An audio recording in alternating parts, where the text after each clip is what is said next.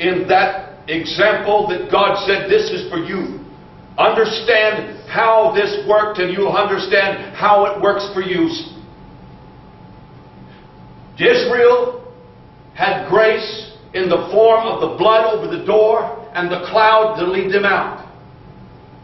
That blood placed over the door the night before left them completely, completely that comes the next morning. This is grace.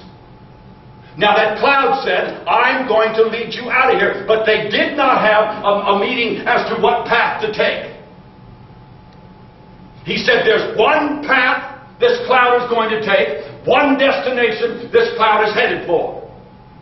Now your faith is made possible by that cloud. You establish your faith on anything but that cloud, and, to, you, you will be in Egypt tomorrow morning making bricks and mourning the loss of your eldest child. If your faith is not established on an ordained path of grace, it will fail you. Jesus said, Grace has come to fulfill the law.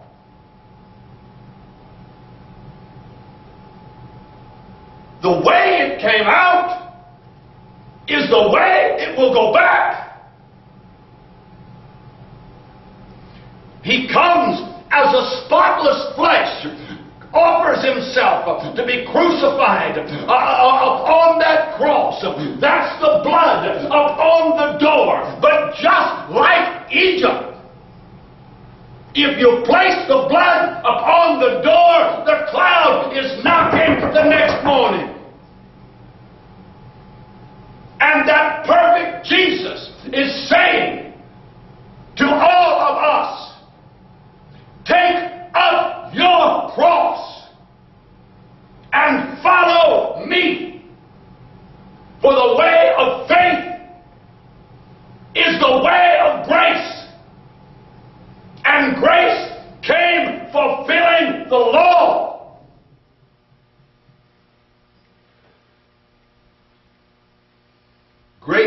A spotless flesh, crucified, fulfilling the law that man can bring another flesh and crucify what can never, never keep the law. It all meets at that brazen altar. If there's not two sacrifices made, it will fail.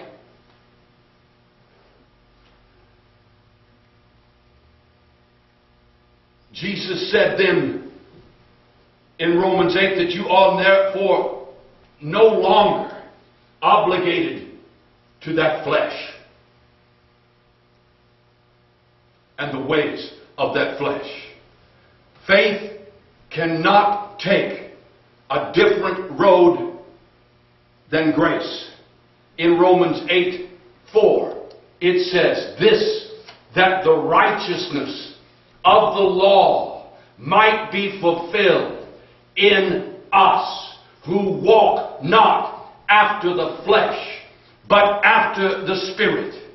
So could we not say of the New Testament that because we are led by grace and that cloud, we are indeed led of the Spirit in the New Testament.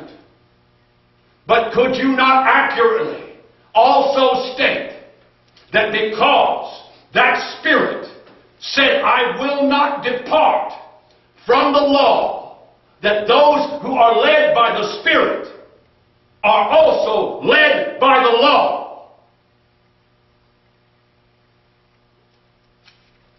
It is the character of God that must lead us.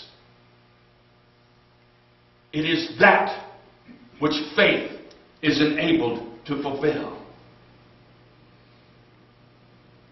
The life of God will never be foreign to its nature. Never be. Never be. Only by the meeting, grace comes out from the ark to the brazen altar. That faith can come from the brazen altar to the ark. But it can only come by the crucifixion that takes place at that altar. First of Him, and then of you. Now, here again, I say to you, is the deception of hell and the religiously sophisticated. We have found the value of the sacrifice apart from its death.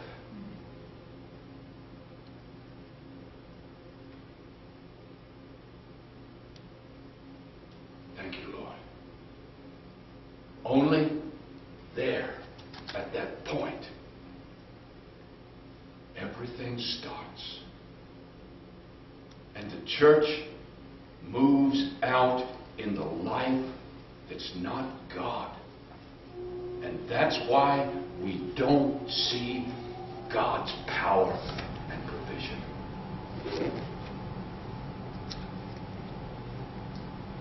I pray, Lord, that you make this real in our hearts and minds. I pray, Lord, that you take the intricacies, God, bring them together. Do that, Lord, which I so miserably fail to do.